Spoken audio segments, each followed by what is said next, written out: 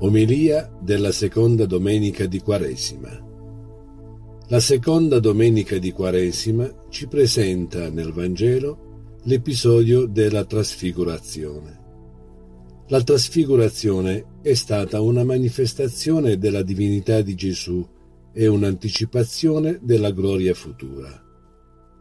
Prima di salire il Calvario, Gesù sale il monte Tabor per irrobustire la fede degli apostoli e infondere coraggio nel portare la croce.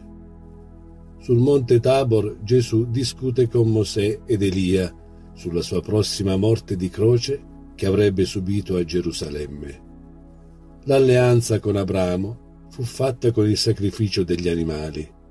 La nuova ed eterna alleanza si realizzò invece con il sacrificio del Figlio di Dio Gesù, morto in croce e risorto per la nostra salvezza si udì una voce dal cielo, la voce del Padre che disse, Questi è il figlio mio, l'eletto, ascoltatelo. Questo episodio ci offre diversi insegnamenti.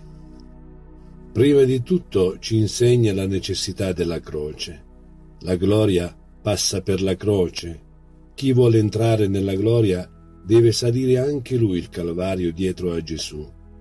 L'Apostolo Paolo, nella seconda lettura, ci dice che molti si comportano da nemici della croce di Cristo.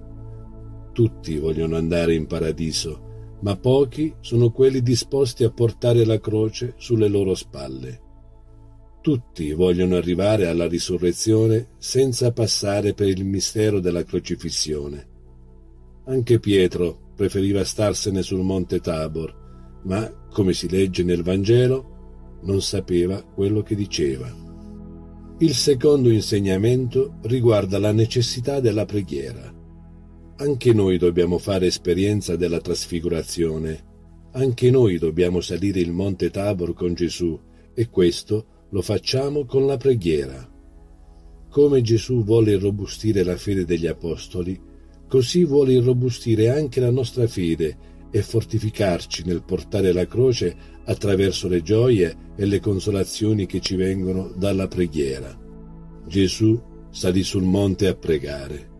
Impariamo da questo quanto sia importante la preghiera. Non se ne può fare a meno.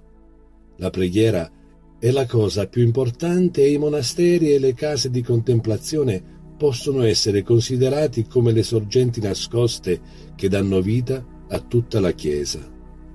Il beato Luigi Stefinaz, arcivescovo di Zagabria nel XX secolo, aveva in così grande considerazione la vita contemplativa che appena divenne vescovo volle in diocesi un monastero di clausura, ben sapendo quanto sia importante avere delle anime oranti che attirino la grazia sul mondo intero. I contemplativi sono i più grandi benefattori dell'umanità. Un altro insegnamento riguarda la gloria futura. Anche il nostro corpo risorgerà e sarà glorificato ad immagine del corpo glorioso di Gesù e dell'Immacolata assunta in cielo. San Paolo, nella seconda lettura, ci dice che Gesù Cristo trasfigurerà il nostro misero corpo per conformarlo al suo corpo glorioso. Per questo motivo dobbiamo amare e praticare la virtù della purezza. Anche il nostro corpo è chiamato alla gloria del paradiso, a condizione che serbiamo la purezza. Gesù nel Vangelo dice Beati i puri di cuore, perché vedranno Dio. Lo vedranno in paradiso, ma già su questa terra assaporano le gioie della vita eterna. La purezza è già un anticipo della gloria futura. Dio alcune volte premia la purezza dei suoi servi con doni particolari. Pensiamo a San Pio da Pietrelcina. Quanti lo avvicinavano avvertivano un profumo di paradiso. E così altri santi. Pensiamo alla beata Giacinta di Fatima. A distanza di tanti e tanti anni dalla sua morte, il suo corpo è ancora incorrotto. Esempi del genere se ne potrebbero fare molti. La purezza è la presenza dell'Immacolata nel nostro cuore e il profumo del suo candore. Eliminiamo dalle nostre case tutto ciò che offende una virtù così bella. Pensiamo a tanti programmi televisivi e a tante riviste indecenti.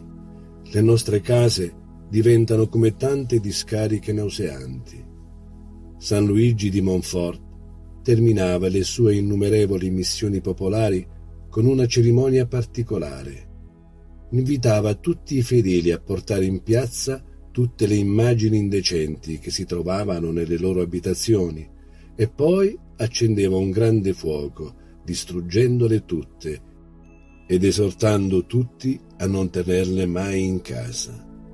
Facciamo anche noi questa pulizia nelle nostre case. Infine, l'episodio della trasfigurazione ci insegna ad ascoltare Gesù. Lui è il nostro Maestro. Noi tutti gli dobbiamo obbedienza. Gesù ci parla nel suo Vangelo. Da questo deriva il dovere di leggerlo, di meditarlo. Ci parla attraverso i suoi rappresentanti qui in terra, il Papa, i Vescovi. Chi ascolta loro, ascolta Gesù. Da ciò deriva il dovere dell'obbedienza alla Chiesa, che è madre e maestra, che ci insegna ciò che è secondo Dio, e ciò che dobbiamo evitare.